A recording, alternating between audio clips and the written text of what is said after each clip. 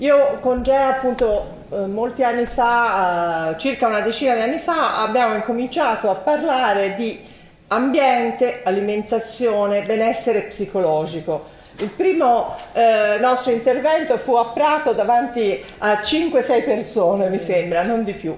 Da allora le cose sono cambiate e senz'altro oggi le problematiche sono diventate più urgenti. Ma eh, devo dire anche che ci, siamo, ci stiamo trovando di fronte a un cambiamento non solo delle tecniche, non solo dell'approccio, ma proprio a un cambiamento di eh, paradigma scientifico, secondo me.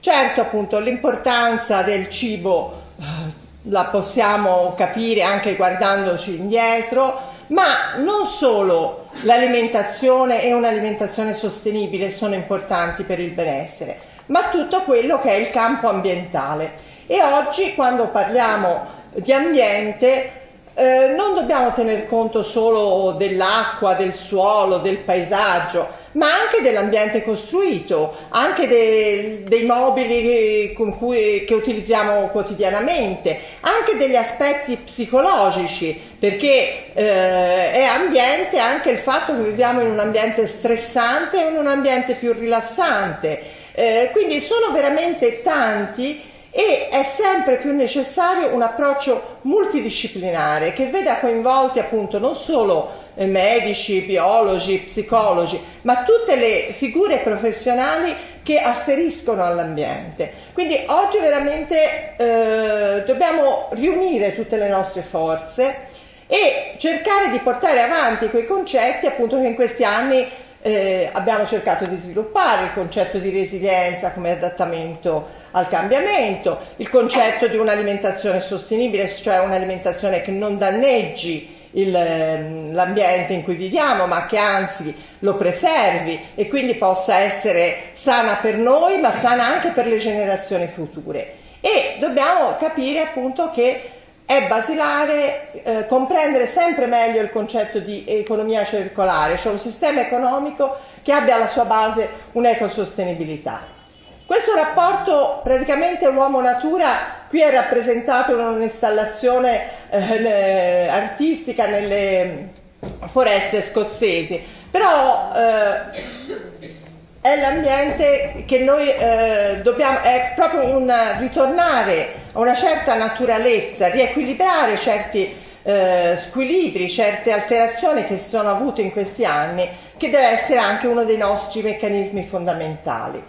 Eh, già appunto le, con la, mm, Milano, il protocollo di Milano sull'alimentazione e nutrizione, eh, in, caso, in, in occasione di Expo avevamo ehm, posto delle basi per un lavoro nel campo della sostenibilità dell'alimentazione e uno sguardo importante verso il futuro. In realtà forse gli obiettivi che ci eravamo proposti non sono stati del tutto rispettati, perché pensate che avevamo detto che per, entro il 2020 sarebbe stata ehm, ridotta del 50% l- lo spreco di cibo che c'è. Forse qualcosa è stato fatto, ma senz'altro non, eh, non abbiamo raggiunto questo obiettivo e anche l'impegno verso l'agricoltura sostenibile, verso il benessere degli animali e quindi un controllo anche degli allevamenti intensivi. Eh, sì, stiamo andando in quella direzione, ma c'è molto da fare e forse pensavamo che in questi cinque anni di poter raggiungere dei risultati senz'altro ancora più concreti e come il concetto di eradicare la fame ma anche contrastare l'obesità che è invece un problema eh, emergente. Ma appunto tutto questo avviene perché forse non siamo riusciti a capire anche che oggi stiamo cambiando il paradigma scientifico e siamo in quell'era in cui si dice che dalla genetica stiamo passando all'epigenetica, cioè oltre la genetica. Uh, solo piccole riflessioni. Uh, in fondo la problematica del grossa del rapporto uomo-natura è una problematica degli ultimi due secoli, due secoli e mezzo, dall'era industriale, perché è allora che si è, avuta, è iniziata la dicotomia tra uomo e ambiente, è allora che le scienze hanno aiutato l'uomo nella sua evoluzione, ma da una parte, oltre che creare un beneficio, hanno creato anche dei danni per l'ambiente. inizialmente con l'era della chimica nell'Ottocento. Eh, leggevo mh, mm, poco tempo fa come per esempio la soda ha, e la fabbricazione della soda ha rivoluzionato l'approccio all'igiene, ha portato eh, delle migliorie importantissime per quello che era il campo igienico-sanitario eh, dell'uomo. D'altro canto però eh, l'industria chimica, anche quella per i farmaci che hanno aiutato, ha aumentato l'inquinamento eh, delle falde acquifere, l'inquinamento dei terreni e quindi questo è stato. Nel Novecento poi la, la, scienza medica ha utilizzato però per esempio le reazioni chimiche anche per la diagnosi. Nel Novecento senz'altro um, potremmo definirla l'era della fisica, appunto i raggi X hanno portato un controllo e una possibilità di diagnosi delle malattie rivoluzionario, eh, la stessa eh, radioterapia ha avuto degli impatti senz'altro positivi. Le, le, industrie meccaniche, elettroniche, l'informatica, però abbiamo avuto anche le problematiche dell'energia nucleare che se mal utilizzata può essere di forte danno. Quindi, e poi appunto nel 2000 senz'altro la possiamo definire l'era della genetica. Io parto sempre da quello che è un po' il mio campo di formazione, quello della diagnostica. Abbiamo capito che eh, i segreti della vita erano nel DNA, abbiamo cercato, immaginato appunto la trasmissione eh, dei nostri caratteri eh, a partire da Mendel e poi eh, con l'individuazione del DNA.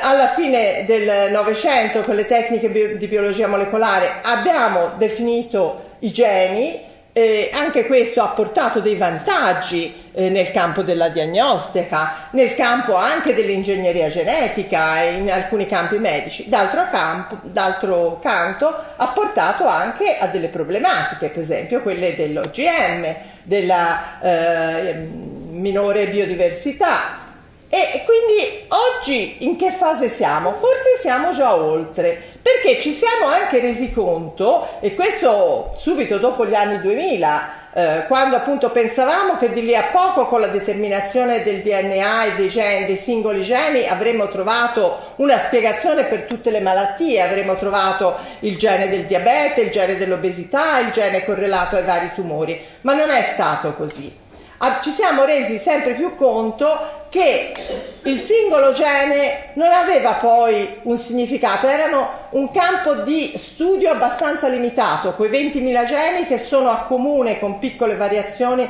in ogni soggetto, ma che la soggettività era legata più a fattori ambientali che andavano a modificare il gene. E questo quindi ci porta alla visione dell'epigenetica, oltre la genetica. E secondo me questa è anche una visione eh, che dà da una parte delle preoccupazioni perché ci fa capire come l'ambiente influenza il gene e eh, quindi com- soprattutto più che il gene la struttura del DNA, l'attivazione di certi meccanismi. Ma come noi possiamo anche appunto modificando l'ambiente e come ambiente appunto sia l'aspetto eh, ambientale, chimico, fisico, ma anche psicologico, come da questo punto possiamo andare a influenzare anche dei geni che non sono magari favorevoli. Quindi ci rimette quasi in mano il nostro destino. Non so se questo concetto è abbastanza, però è un concetto fondamentale. Oggi dobbiamo superare un po' quella visione meccanicistica in cui eh, noi pensavamo appunto il DNA, il gene, la proteina l'errore metabolico. Abbiamo visto che non è tutto qui. Innanzitutto dobbiamo capire forse ancora molte cose del nostro patrimonio genetico, per esempio il significato delle zone del DNA non codificanti, delle proteine che regolano la struttura eh, del DNA, eh, i meccanismi di trascrizione. E in fondo il DNA non lo dobbiamo più vedere come una sequenza di basi azotate, quindi una struttura con una sua ehm, chimica eh, determinata e una struttura fisica, ma forse se, eh, siccome sappiamo per esempio oggi che certe frequenze musicali possono attivare o disattivare il nostro eh, materiale genetico, forse è mh, mm, pensabile anche come un'antenna il nostro DNA, non solo quindi con una visione eh, così meccanicistica. E è in questo campo appunto che si apre il campo dell'epigenetica. Ora non posso approfondire eh, troppo, però l'epigenetica appunto è il fatto che il nostro DNA può essere attivato, aperto o chiuso, una specie di switch on-off, a seconda che eh, dei meccanismi particolari, in particolare sono stati studiati i meccanismi di metilazione di deacetilazione, ma probabilmente ci sono anche altri meccanismi che dobbiamo approfondire, questi possono chiudere o aprire il nostro DNA. E questo meccanismo di eh, accensione o spengimento del materiale eh, cromosomico è quello che è alla base, per esempio, della differenziazione dello zigote nell'embrione di tutti i tessuti. Noi ci sviluppiamo correttamente con dei meccanismi epigenetici. Questo meccanismo poi non si perde quando l'individuo è già sviluppato, ma si mantiene nei tessuti questa capacità e questa è attivata per esempio da sostanze chimiche, ma anche da eh, nutrienti particolari, dal movimento, eh, ribadisco, dal, dallo stato psicologico. E si è visto che sono questi meccanismi che regolano le malattie metaboliche, quindi quali per esempio il diabete, ma anche le malattie immunitarie, come l'asma, le malattie tumorali, le degenerazioni del sistema nervoso, dal, eh, dall'autismo all'Alzheimer. Quindi capite che è un approccio eh, completamente diverso a quello che potevamo avere di visione della, delle malattie qualche anno fa. Cioè non è un incidente eh, di percorso la malattia, ma è spesso il cumulo di stimoli negativi, va bene, eh, che però possiamo anche eh, contrastare.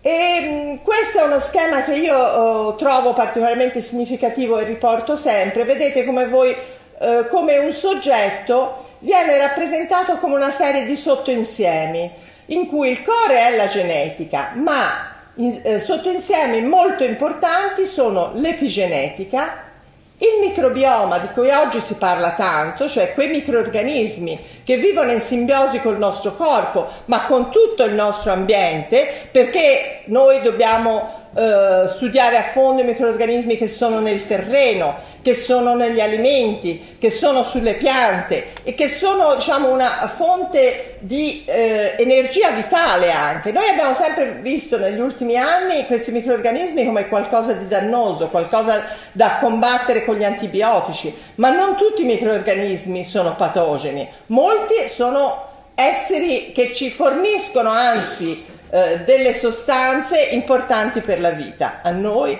a, al terreno, agli animali eh, e, e, poi appunto in generale eh, l'ambiente. Quindi oggi appunto si dice la genetica propone ma è l'epigenetica che dispone e eh, questi studi sono quelli che secondo me da qui a qualche anno cambieranno notevolmente tutto l'approccio alla, eh, al concetto di benessere e di salute.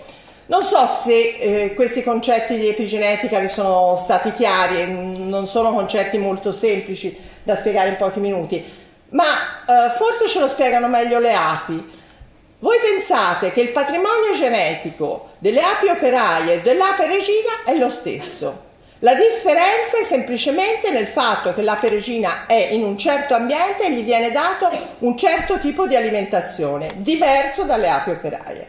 Quindi pensate anche voi che in fondo anche per noi, a seconda di dove viviamo e di che cosa ci viene dato come nutrimento, possiamo avere una vita completamente diversa e delle capacità completamente diverse come sono quelle delle api operaie rispetto all'ape regina. Questi, vedete, sono tutti quei fattori che influenzano le, no, la struttura diciamo, del nostro DNA. E vedete, è la dieta qui all'apice, ma anche l'alterazione, de- l'alternanza delle stagioni, l'alternanza del ritmo sonno-veglia, dei ritmi circadiani, l'esposizione a malattie, a sostanze tossiche, a farmaci, lo stato finanziario viene descritto, ma in effetti lo stato di benessere, l'attività fisica, il microbioma, i microorganismi, i farmaci, anche certe terapie alternative, per esempio. Tanto successo eh, oggi delle medicine orientali, sembra quasi una moda, ma invece è perché le medicine orientali forse hanno tenuto più conto anche di certi fattori eh, diciamo energetici diversi da quelli della medicina tradizionale e probabilmente appunto alcune eh, meccanismi tecniche dal Qigong e cosa sembrano essere dei meccanismi epigenetici piuttosto potenti. In generale l'interazione sociale e lo stato psicologico. Questa è una slide di uno dei massimi esperti, professor Burgio, che l'altra settimana appunto avevamo a Firenze e che mi sembra particolarmente importante. Una settimana fa appunto è stato presentato in Consiglio regionale un documento che è un eh, progetto diciamo, di prevenzione primaria sottoscritto da un'associazione di architettura e, e biogeologia e, con medici, biologi ma anche appunto architetti per la tutela dei um, primi mille giorni di vita. Cioè perché appunto l'effetto epigenetico è massimo nel periodo dal concepimento, eh, la gravidanza e i primi due anni che sono gli anni di maggiore sviluppo dell'organismo. Vedete, tutti questi fattori possono, eh, dai pesticidi allo ehm, stress fetale, altre eh, le sostanze obesogene, influenzano la placenta e lo sviluppo embrionale. Anche qui dobbiamo superare il concetto che la placenta fosse un filtro protettivo per il feto. In realtà la placenta è un filtro che concentra tutte le sostanze, per esempio chimiche. Quindi è un periodo particolarmente delicato in cui la madre deve stare particolarmente attenta all'ambiente a, mm, in cui vive e a quello di cui si nutre, perché il rischio è che appunto eh, vi siano delle alterazioni a livello dell'organismo che portano poi, magari anche in tarda età, ma a malattie cardiovascolari, a malattie eh, allergiche, eh, a malattie tumorali, a alterazioni del sistema nervoso. Quindi capite che si rivela sempre più importante questa attenzione in questa fase.